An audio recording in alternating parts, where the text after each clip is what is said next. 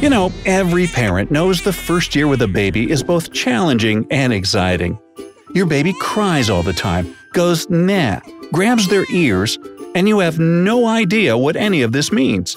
Luckily, some experts have decoded this unique baby language, and I'm here to share the clues you'll need to figure out what your little bundle of joy is trying to say.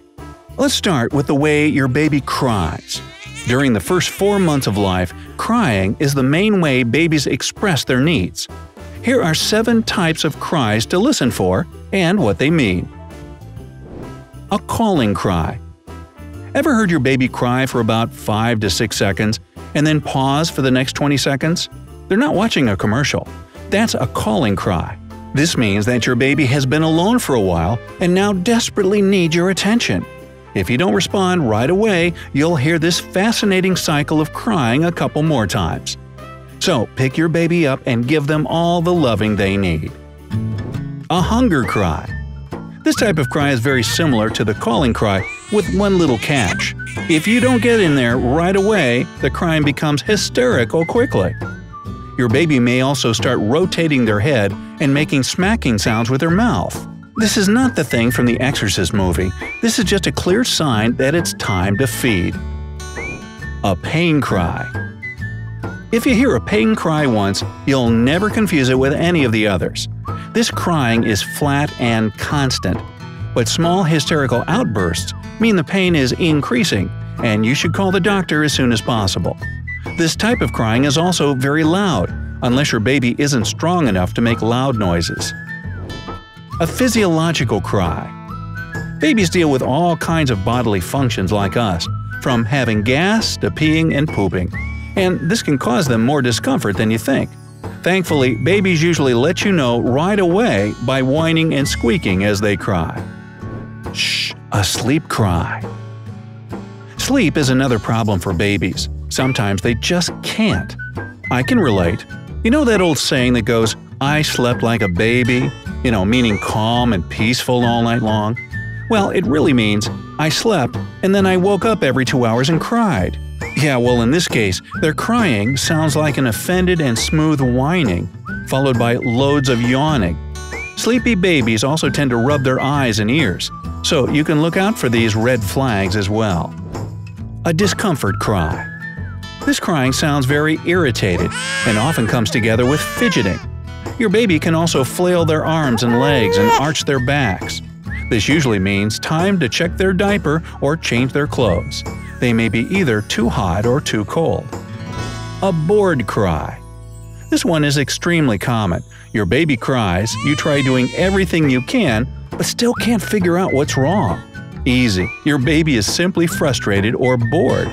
Take them for a walk outside or around the house. Play a hand or two of poker or something. Nah, just kidding. A simple environment change can stop the crying quickly. Okay, so now that you got the different crying scenarios down, it's time to talk about the other sounds your baby makes. Yup, all these strange sounds have their own meaning. Australian pediatrician Dr. Priscilla Dunstan has been studying early childhood sounds for more than 20 years. She examined 3 to 4 month old babies of different nationalities during her research. According to Dunstan, your baby starts actively making communication sounds after only 4 months old. Before that, the sounds are just a primary reflex that needs to be figured out. So, here's a little sound cheat sheet. Nah means I'm hungry, feed me. This sound comes from your baby pushing their tongue up to the roof of their mouth, triggering the sucking reflex. Eh is I think I'm gonna burp now, with that, the excess air starts leaving the baby's esophagus, and your baby tries to release it from their mouth. And sometimes you get more than just a burp, if you know what I mean. Awa means I'm so sleepy and tired. Your baby just folds their lips before yawning, and this sound comes out. Ha is baby speak for I'm not feeling it, I'm uncomfortable. The main reason is probably an unpleasant feeling of some sort. The baby can give away their feelings by constantly moving and jerking their hands and feet as well.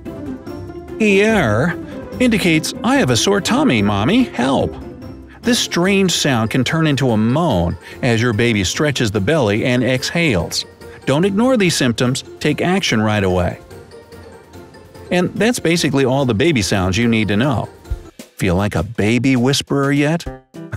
Wait, I have one more important lesson for you baby movements. Small babies have their own body language that can help you detect their needs and moods. Let's take a look. Arching their backs. Parents know that babies under 2 months old arch their backs a lot. In most cases, it's just a typical response to pain or colic, but there are a couple of exceptions to this rule.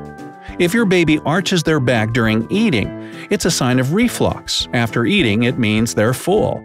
And if your baby has passed the 2 month old mark but still does it, no need to worry, they're simply tired or in a bad mood. Rotating their head. This is your baby's way of calming down. You usually see it when they're about to fall asleep or hang out with people they don't know yet. Good thing is that you can help your baby. Just gently rub their back and they'll instantly relax. Grabbing their ears. This may look pretty scary, but it's completely natural. Your baby is simply exploring their body. However, if ear rubbing is followed by intense crying, you should visit the doctor to find the source of the problem. Clenching their fists. Fist or no fist shows how hungry your baby is. A perfectly relaxed hand means that they're full, while strong fist shows that they need baby food right this minute. Noticing this little detail in time can help you prevent the hungry crying and save you tons of time and stress. Lifting their legs. During the first months of your baby's life, colic and tummy pain are almost inevitable.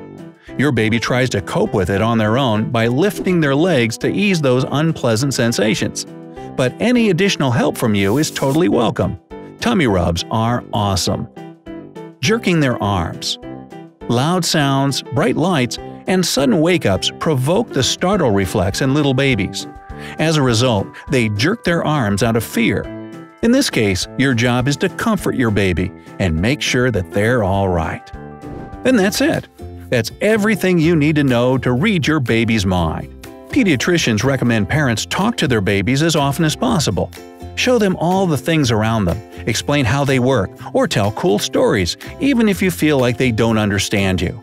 This type of constant communication will help them develop their own individual sounds and gestures to express their needs better. Now, actually, we should really show you what the different shades and colors of poo in their diapers mean. But hey, we're out of time here, so we'll have to save that for another day.